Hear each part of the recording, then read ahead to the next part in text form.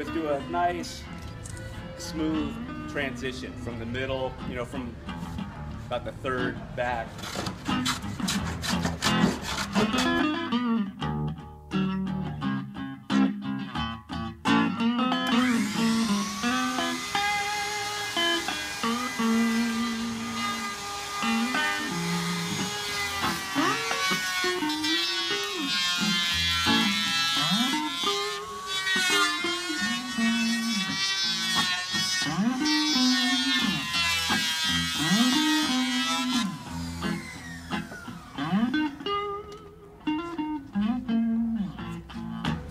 So I've kind of started tapering this rail.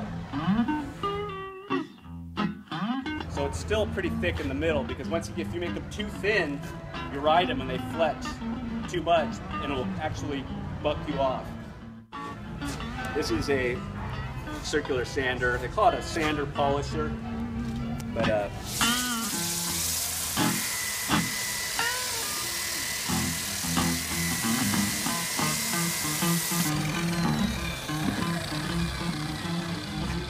this shouldn't work.